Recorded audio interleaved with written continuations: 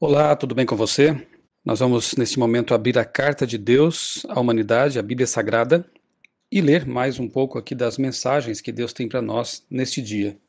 O capítulo para nossa reflexão de hoje é Lucas 9, e aqui encontramos várias situações interessantes, mais uma vez, lições profundas, lições espirituais. E repito que é muito importante que você em casa, você onde quer que esteja, também abra sua Bíblia e antes de, quem sabe, ouvir este áudio, leia por você mesmo. Leia com calma, leia com concentração, tentando imergir no texto, extrair dele as lições mais importantes e, especialmente, meditar nas atitudes de Cristo, pedindo a Deus poder, forças para imitar Jesus, que é o nosso modelo. Nós encontramos neste capítulo a primeira multiplicação dos pães e peixes. E aqui nós encontramos também a forma como Jesus agia.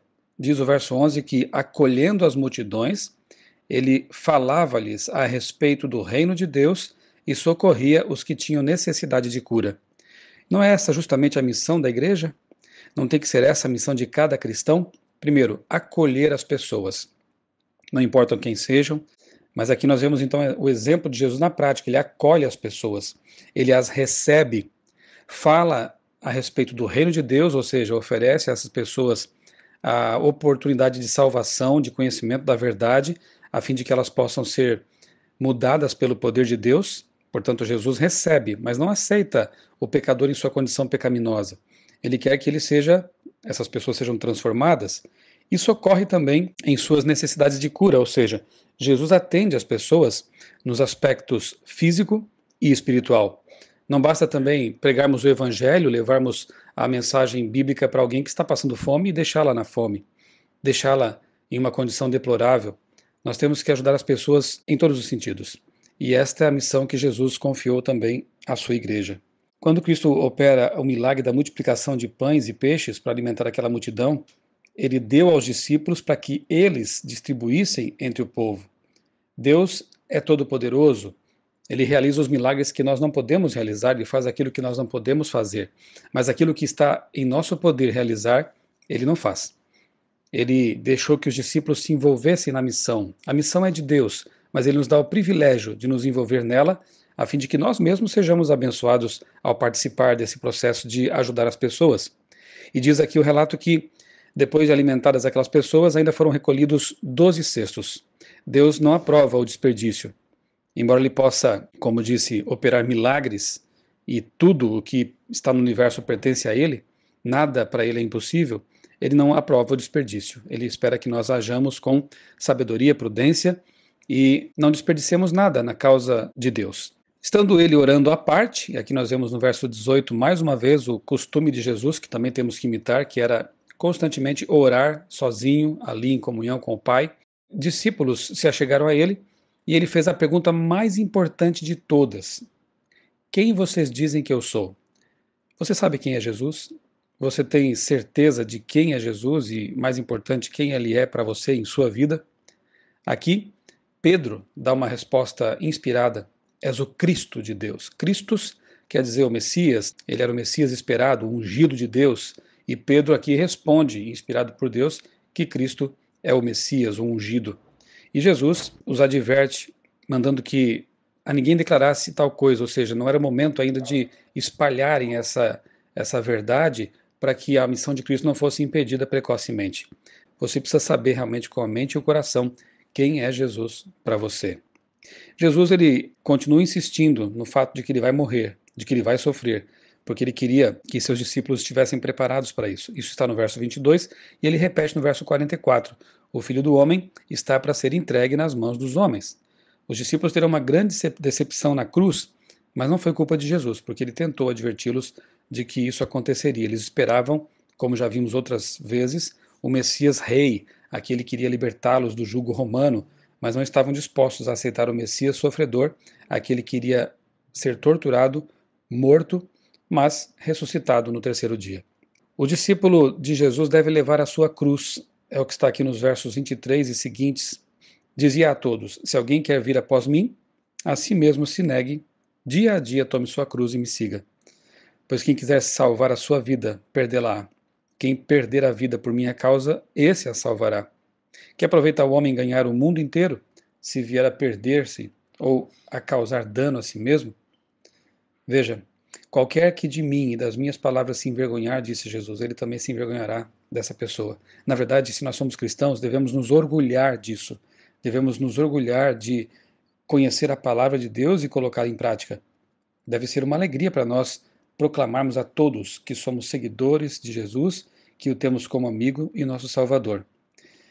Jesus ele fala aqui algo interessante e curioso no verso 27, ao dizer que muitos dos que estavam ali ouvindo o seu discurso, a sua pregação, de maneira nenhuma passariam pela morte até que vissem o reino de Deus. E em seguida o relato fala da transfiguração de Jesus, quando ele aparece de uma forma gloriosa, resplandecente lá no alto do monte, e ao lado dele aparecem Moisés e Elias, falando de sua partida.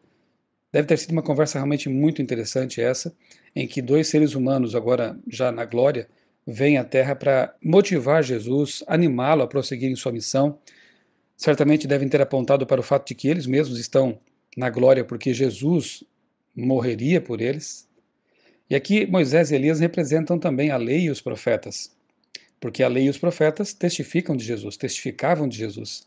Então Moisés representando a lei, a Torá, e Elias, o grupo dos profetas, Ambos escreveram coisas, livros que apontavam e apontam para Jesus. Como eu disse, os dois falavam com Jesus a respeito da sua partida. Partida aqui, no grego, é a palavra exodus, e ela nos lembra, logicamente, do êxodo. O êxodo no Egito representou para Israel, para o povo hebreu, a libertação da escravidão do pecado para a terra prometida. Assim como a partida de Jesus, o êxodo de Jesus, representa também para nós libertação do mundo de pecado e a nossa preparação para a Canaã celestial. Jesus é aquele que nos tira do pecado e nos liberta deste mundo de pecado para que nós possamos estar preparados para a vinda dele, a segunda vinda dele. E lá no monte, Deus do alto fala: Este é meu filho, o meu eleito, a ele ouvi. Ouçam Jesus.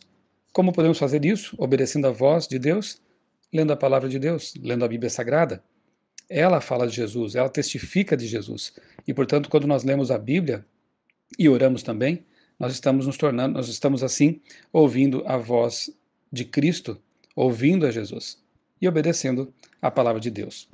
Ainda sobre a transfiguração, lá em 2 Pedro capítulo 1, versos 16 a 18, nós encontramos um relato de Pedro a respeito desse grande evento que deixou o discípulo aturdido. Tanto é que ele até faz uma proposta aqui um tanto uh, desnecessária. Ele diz: Senhor, quer que façamos tendas para você, para Moisés e para Elias?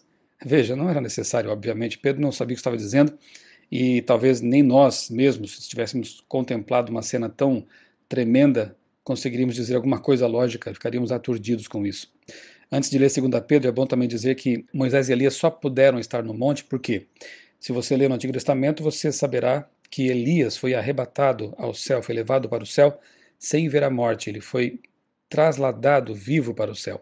E Moisés, conforme o relato lá da, do Antigo Testamento, e também alguma coisa que a gente pode ler na carta de Judas, ele foi ressuscitado por Deus e levado ao céu.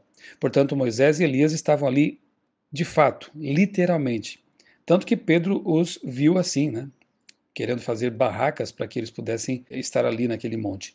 Eram de fato Moisés e Elias que vieram com a missão especial de consolar, confortar, animar aquele que tantas vezes os confortou e os animou quando Moisés e Elias viveram aqui na terra.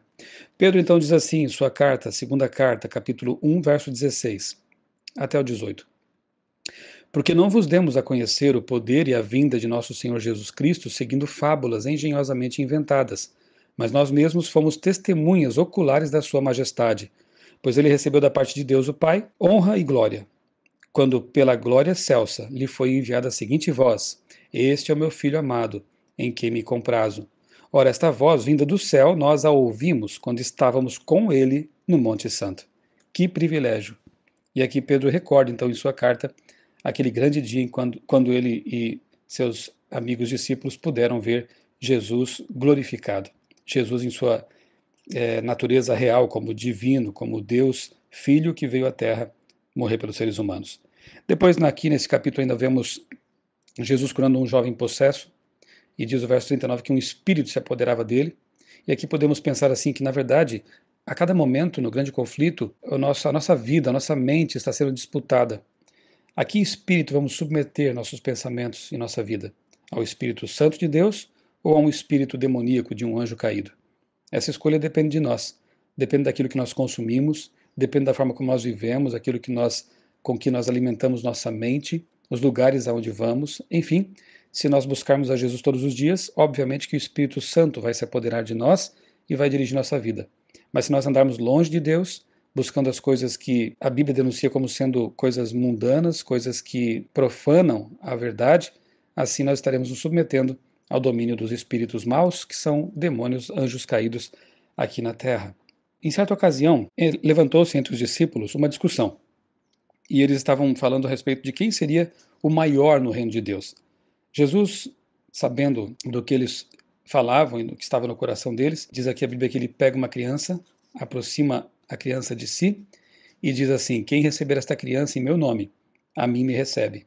E quem receber a mim, recebe aquele que me enviou. Porque aquele que entre vós for o menor de todos, esse é o grande. Como os discípulos demoraram para compreender isso e como as pessoas hoje também demoram para compreender isso. Que no reino de Deus, o menor é o maior e o maior é o menor. A liderança bíblica, a liderança servidora, Jesus deu esse exemplo. Ele não veio para ser servido, veio para servir e os pastores, líderes, qualquer tipo de função de liderança que você desempenhe na causa de Deus, ela deve ser servidora. Você está aqui para servir e não ser servido. E ser como as crianças, simples, amorosos, perdoadores. Acolher pessoas também assim, pequenas. Então, essa discussão realmente era muito tola. Quem seria o maior no reino de Deus? O maior é o menor. Nunca se esqueça disso. Jesus ensina também a tolerância aqui. Em certa ocasião, os discípulos se depararam com um homem, souberam de um homem que expelia demônios, pregava em nome de Cristo. Mas eles dizem, ele não é um dos nossos. Jesus disse, quem não é contra vós, é por vós. Muitas vezes o preconceito se levanta e há pessoas que se ressentem pelo fato de que outros que não pertencem ao seu grupo estão pregando a respeito de Cristo, a respeito da palavra de Deus. A postura de Cristo é bem diferente dessas de preconceito que muitas vezes há por aí. Não devemos agir por preconceito e com preconceito. Devemos entender que Deus tem filhos queridos e escolhidos em todos os lugares.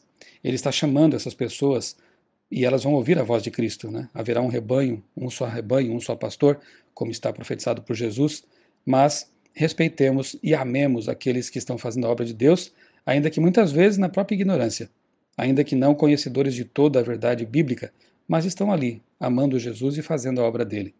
Samaritanos não recebem Jesus e seus discípulos quando eles passam por lá. E aí Tiago e João, filhos do trovão, e é bonito ver como Jesus vai transformando esses homens tão irritadiços como eles eram. João vai ser depois conhecido como discípulo do amor, mas nesse momento aqui ele não manifestou amor nenhum. Ele diz: Senhor, queres que mandemos descer fogo do céu para os consumir? E Jesus responde: Ele repreende os dois e diz: Vós não sabeis o que, de que espírito sois. Pois o filho do homem não veio para destruir as almas dos homens, mas para salvá-las. Aqui Jesus ensina misericórdia. Ainda há oportunidade de salvação, então ele oferece essa salvação às pessoas e prega aos discípulos misericórdia. Amem as pessoas, perdoem as pessoas. E se elas não os aceitarem, fazer o quê? Ele mesmo diz, né? É, sacudam o pó das sandálias e vão pregar para outro lugar. Se alguém te criticar, se alguém é, te maltratar quando você está pregando a palavra de Deus, não revide, não critique também, não se irrite com essa pessoa. Simplesmente vá pregar para outro grupo. Sacuda o pó das sandálias e siga avante na sua missão. Não deseje fogo do céu contra os ímpios. Talvez eles tenham tempo ainda de se arrependerem no futuro, sejam outras pessoas. Nossa missão hoje é simplesmente pregar o evangelho, amar os pecadores e seguir adiante. O capítulo termina falando de um homem que quis seguir a Jesus, se dispôs a ser um discípulo, Jesus disse: Olha, só que é bom você saber que as raposas têm seus covis, as aves dos céus, ninhos, mas o filho do homem não tem onde reclinar a cabeça. Muitas vezes, ser um seguidor de Cristo, um discípulo, envolve privações, e é preciso que as pessoas saibam disso. O tal evangelho da prosperidade é uma grande mentira. Como se ser servo de Cristo fosse garantia de riquezas, de prosperidade material, Jesus nunca prometeu isso aos seus seguidores. Ele prometeu que estaria com eles e supriria suas necessidades básicas e aqui, inclusive, adverte: é possível que você nem tenha, como Jesus aqui na terra, talvez uma casa onde estar, conforto e assim por diante. Mas Deus está do seu lado. Aí esse homem disse: Jesus, eu quero seguir você, mas deixa é, primeiro eu sepultar meu pai. Jesus responde: Deixa os mortos o sepultar os seus próprios mortos. Parece estranho isso, né? Ele não podia nem enterrar o seu pai. Na verdade, o que esse jovem estava dizendo, que era um costume judaico, era que o filho cuidaria do pai até a morte dele. O rapaz não estava dizendo que teria que sepultar o pai naquele momento porque o pai estava morto. Não, o pai estava vivo. Ele estava apenas dizendo: Senhor, eu vou te seguir, mas lá adiante, quando eu puder resolver os assuntos da família, quando eu puder é, dar ao meu pai o sepultamento que ele vai ter quando morrer. Jesus disse: Deixe que os mortos sepultem os mortos. Siga-me. Pregue a palavra de Deus. Então, se Jesus o chamar, não deixe para depois. Entregue sua vida a Jesus, dedique-se à obra de Cristo e faça aquilo que ele pede de você. Dos seus parentes, da sua família, ele também vai cuidar com certeza. Jesus lhe replicou: Ninguém que, tendo posto a mão no arado, olha para trás, é apto para o reino de Deus. Ou seja, esqueça o passado. Não olhe para trás. Avance com Cristo sempre para o alvo, sempre para a frente. Eu sou Michelson Borges, sou pastor e tenho tido a, o prazer e a alegria de, com você, todos os dias, meditar na palavra de Deus. Que Ele lhe conceda um dia abençoado na presença de Jesus.